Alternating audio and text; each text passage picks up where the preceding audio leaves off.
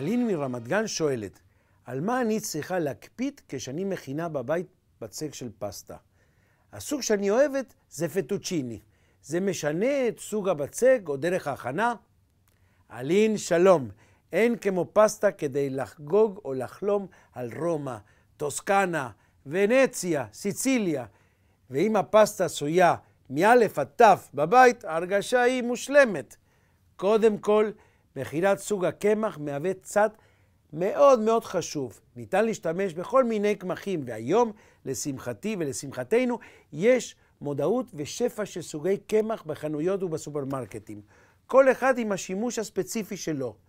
מכל סוגי הקמח, מה שאני מציע לך זה את קמח הדורום.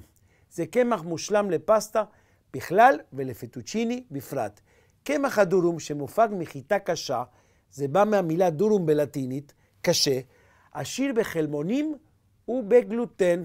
החלבונים מאפשרים לקמח לספוג כמות יפה של נוזלים, והגלוטן הוא האלמנט האלסטי שיאפשר לנו למתוח טוב את הבצק במהלך הלישה ובמהלך מתיחת הפסטה.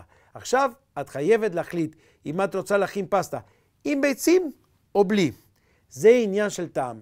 אני מעדיף עם ביצים. היא יותר גמישה והעשייה היא יותר טעימה.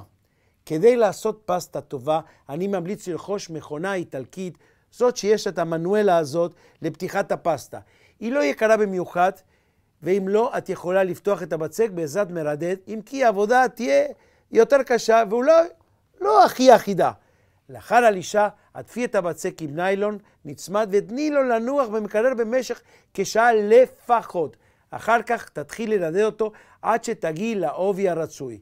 תרכיבי במכונה את הסכין לפטוצ'יני ותרדדי לאורך, לאורך שתרצי. הרוחב של הפטוצ'יני הוא בדרך כלל שישה מילימטר. עכשיו, שתי אפשרויות, לבשל בשעות הקרובות או לתלות את הפטוצ'יני על מקל על מנת לייבש אותו, וזה יאפשר לך לשמור ולשמר את הפסטה למשך כמה ימים. זהו, יש לך פסטה.